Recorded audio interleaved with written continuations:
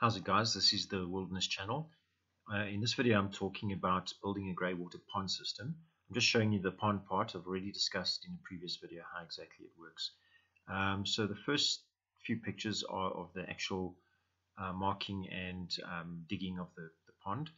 Um, it took roughly four days uh, for me to dig this pond by hand with a pick and shovel um, and then to, to sort of move the soil to the edges. Uh, so it was a considerable amount of effort. Um, and you can see on the second picture, you can see the long furrow that leads into the pond. Um, that, that is where the actual filtration or part of the filtration occurs for the pond. Um, in, in these pictures, you can see other angles of, of the whole process. The white pipe is actually the inlet pipe that will go into the pond and then the furrow uh, is going to be lined with a black liner, a, a, rubber liner, and then filled with sand, which will act as the filtration system. Uh, yeah, you can see it more landscaped, um, and the rubber liner has been placed in the, the main pond, um, and then it's filled with water. This helps settle the liner so that you can then um, make sure that it's not going to shift once uh, once everything's done. Okay, there you can see more landscaping has been done.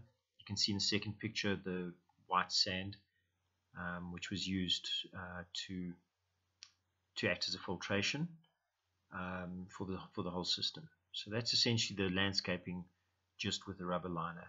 You could, of course, just put rocks around the pond like this, and it would be perfectly alright to use like that. Uh, but I chose in the end to actually put tiles around the pond system and make it look more formal. Um, there's another picture of the um, furrow system coming into the pond. Um, that's connected to the main um, filters which come from the main house, uh, which I, I, have discussed in the previous video on rainwater collecting and grey water in my grey water system. Once everything's landscaped like this, uh, I had to make it as level as possible as well, uh, all the way around the pond. So um, sometimes I had to pull up the rubber liner and reset it.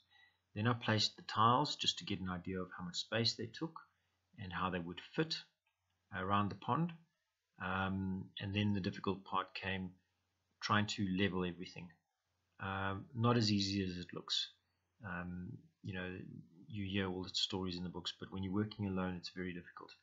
What I ended up doing was making um, concrete forms. If you look in the second picture there, uh, and subsequent pictures you'll see there's concrete forms that I've made to to sort of level the entire edge of the pond so I put these forms all the way around the pond and um, and try to get them as level as possible as you can see in the first picture and then uh, I laid the tiles so that they, they would be level the tiles were laid so that they overlapped the edge of the pond and so they were not actually flush um, with the edge of the pond um, and I did this because I needed to also fill the inside of the pond with concrete.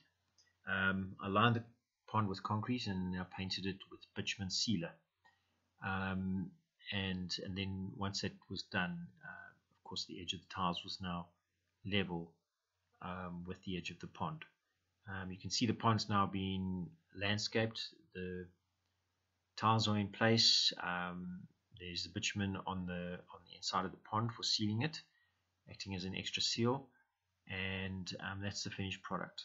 The pond actually is now looking very good. It's surrounded by plants, um, and um, you know within one season of growth, um, it's doing really really well. It's stocked with fish, and it's turned into a nice little ecological system with a lot of uh, fauna and flora in the environment. So it's a nice little system. Um, the overflow from the grey water goes into the pond and also top up the pond with rainwater collected from the rainwater collecting system.